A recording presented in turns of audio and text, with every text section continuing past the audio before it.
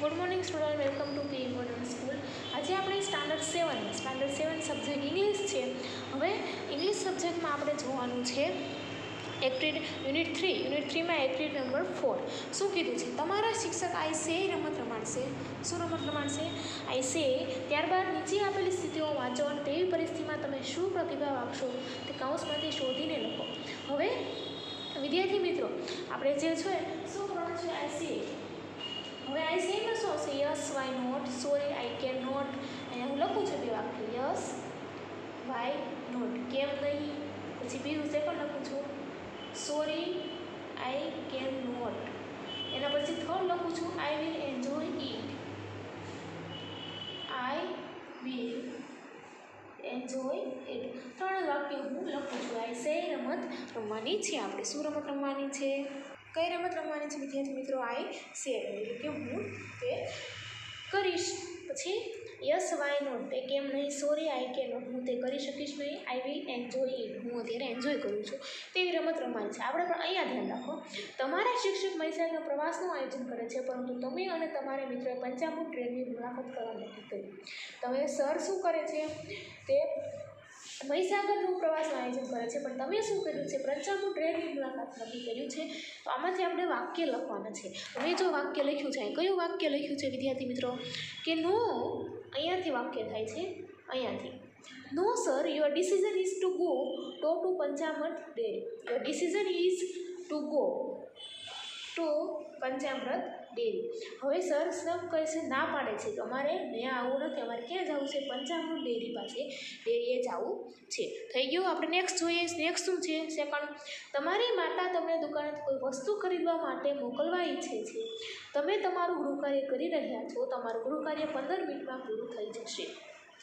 શું કોઈ વસ્તુ છે તે ખરીદવા મોકલવા? જે તમારું ગૃહકાર્ય કરી દે. તમારું તમારું ગૃહકાર્ય કેટલા મિનિટમાં પૂરું થઈ જશે? પંદર મિનિટમાં. તો તેનું ઇંગ્લિશ શું થશે? અહીંયા લખ્યું છે. મોમ ગીવ મી સમ શું કહે છે? મોમ ગીવ મી મને સમ ટાઈમ એટલે થોડો ટાઈમ ગીવ મી સમ મને થોડો ટાઈમ આપો. થઈ ગયું? તમારે વિદ્યાર્થી મિત્રો, આ બે લખવાના છે. નેક્સ્ટ જોઈએ થર્ડ નંબર થર્ડમાં શું કીધું છે? કે દુકાનદાર તમને એક પેન ખરીદવાનું કરી રહ્યો છે, તમને તે ગમતી નથી. દુકાનદાર તમે દુકાન પાસે જાઓ છો, વિદ્યાર્થી મિત્રો. દુકાનદાર શું કહે છે? પેન ખરીદવાનું કહે છે. પણ તમને તે પેન નથી ગમતી, તો તમે આન્સર શું આપશો? જુઓ, લખ્યું છે. Sorry but I perfect I prefer an Automark pen શું કહે છે? સોરી પણ આઈ શું કહે છે? કે sorry but I perfect automark pen. કે હું સોરી એટલે કે મને માફ કરો બટ પરંતુ હું ઓટોમાર્ક પેન જે છે તે પસંદ કરું છું. પરફેર એટલે જે પસંદ કરવું શું કરે છે? પસંદ કરવું પછી આગળ જુઓ શું કહે છે ચોથું. હેરી પટેલને તમને હેપી હર્બલ શેમ્પૂ વેચવા માગે છે. તમે તે લેવા માગતા નથી. હેરી પટેલ જે છે, તે શું વેચવા માગે છે તમને હેપી હર્બલ શેમ્પૂ પણ તમે તે નથી લેવા માગતા. તો શું કહેશો તમે? અહીંયા આપણે આપ્યું છે સાઈડમાં I am sorry we use another શું કહે છે? આઈ એમ સોરી મને માફ કરો.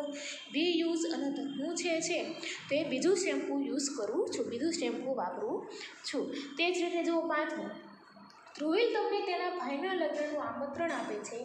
તમે ત્યાં ચોક્કસ જશો. ચોક્કસ એટલે કે sure sure I will thanks you for invitation શું કે છે? આઈ વિલ શ્યોર હું કરીશ થેન્ક યુ ફોર ઇન્વિટેશન એટલે કે મને આમંત્રણ આપવા માટે શું કે છે એને થેન્ક યુ કે છે. તો વિદ્યાર્થી મિત્રો, આપણી જે છે એક્ટિવ નંબર ફોરમાં અહીંયાથી તમારે જે છે, અહીંયા એક, બે ત્રણ, ચાર અને પાંચ જે તમારે તમારી જે પુસ્તક છે તેમાં લખવાના છે. કંઈ જ કરવાનું નથી, ખાલી જે ઉપર ગુજરાતી આપ્યું છે તેનું તમારે ઇંગ્લિશ કઈ રીતે થાય છે તે રીતે લખવાનું છે. તમારો આન્સર તમે શું આપશો તે લખવાનું છે. બીજું કાંઈ એમાં કરવાનું નથી. તો વિદ્યાર્થી મિત્રો, આપણે નેક્સ્ટ વિડીયોમાં આવશું કોઈ નવી એક્ટિવિટી સાથે. નમસ્તે.